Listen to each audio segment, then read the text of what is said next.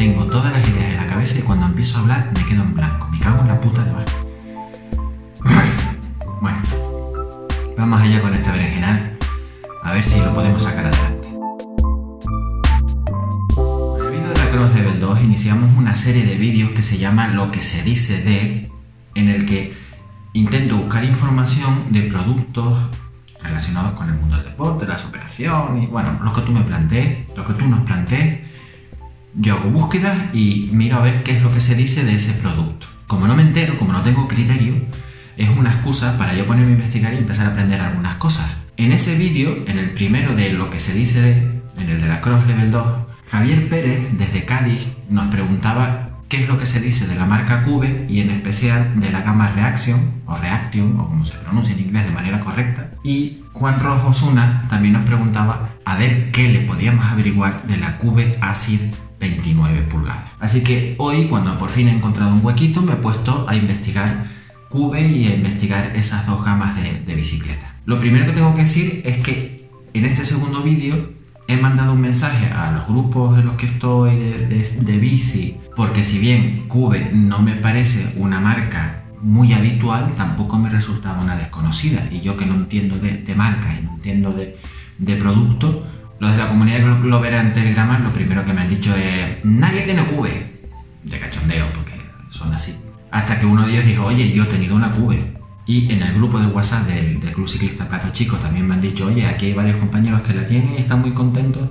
Y en el grupo de WhatsApp del Club Ciclista Cadencia, eh, Vicente me ha dicho, oye, yo estoy súper contento con mi Cube. Así que sí, hay gente que tiene Cube.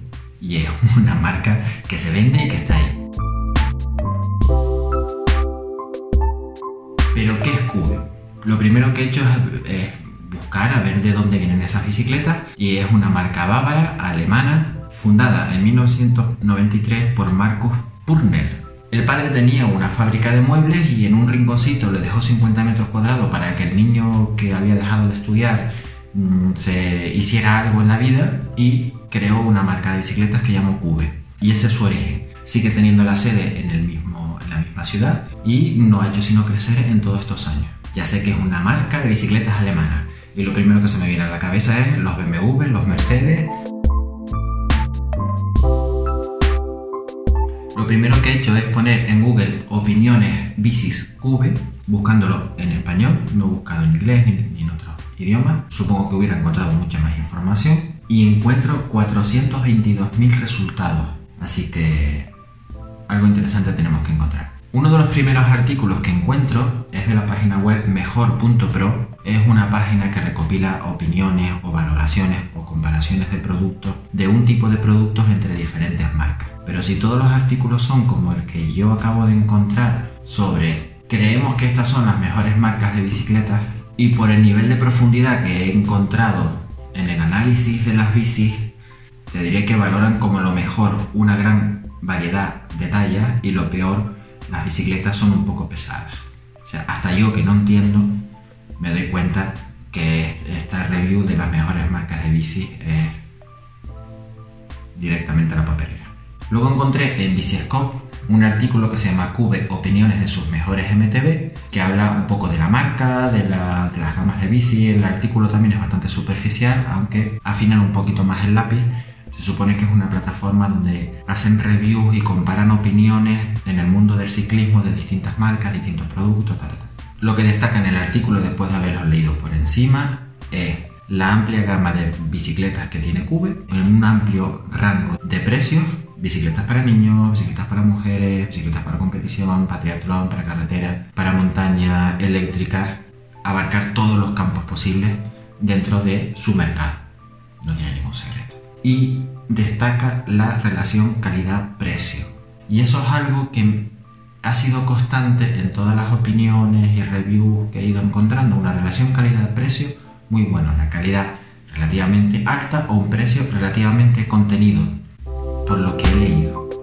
En Bike, la revista de la bici de montaña, hay un artículo de 2017 donde compara las 6 mejores bicis de Cube para el 2018 y entre todos los modelos no encuentro la ACID, pero sí encuentro la reacción TM por un precio aproximado de 1.700 euros. En Foro MTV encontré un hilo, un tema de 2010 que llegó a tener comentarios hasta 2013 en general, todos los comentarios en aquellos años lo que destacaban para la calidad que te ofrecen tienen unos precios muy contenidos. En otros foros más recientes he encontrado las mismas valoraciones, pero quienes han tenido la bici o quienes han valorado en su compra, para mismos componentes, mismo tipo de cuadro, una calidad similar, los precios empiezan a acercarse a los de su competencia. Me fui a la página web de Cube para ver los modelos ACID y Reaction. En su web de la Cube Acid solo encontré dos modelos, la, la Acid y la Acid Eagle.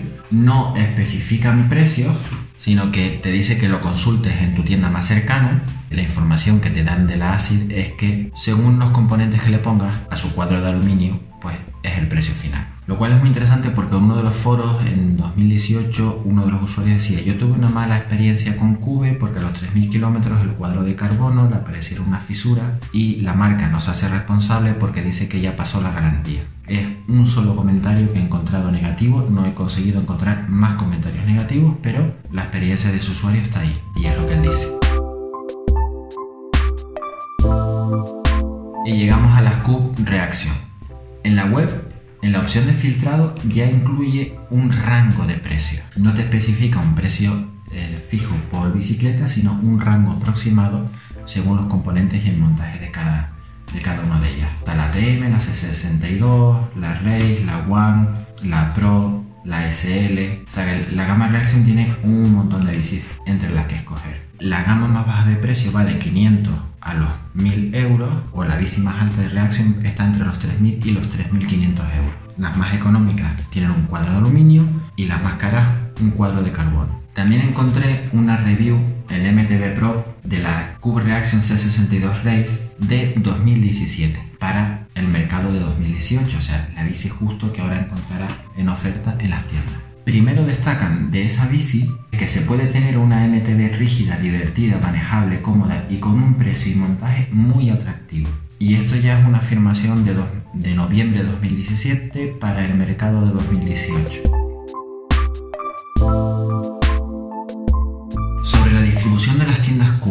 Cuando he ido a hacer una búsqueda general a ver qué tal distribución hay en España, eh, a priori no he encontrado información. Están las Cube Store, son tiendas monomarca, las tiendas premium, donde tienen un amplio catálogo de sus productos, las tiendas normales, donde puedes encontrar una buena gama de bicicletas Cube, y luego están las tiendas normales que ni siquiera las describen, donde supongo que bueno, encontrarás algunos modelos. Ese es el tipo de tienda que hay en España. Resumiendo, bicis alemanas, excelente relación calidad-precio, no es que sean baratas, sino que a precios similares lo que te van a dar está un poquito por encima de la competencia, es como se debe interpretar una buena relación calidad-precio. En España no es difícil encontrar tiendas que tengan la marca, como no es difícil encontrar ciclistas que tengan una bici Cube. ¿Con qué me quedo de todo esto? Creo que podría comprar una bici Cube con confianza me dejó mosqueado el usuario que en uno de los foros dice tuve un problema con la marca Cube porque aparecieron fisuras en su cuadro y la marca no se hace responsable porque dice que ya está fuera de garantía y eso le pasó a los 3.000 kilómetros de uso de bici. El resto queda de tu cuenta.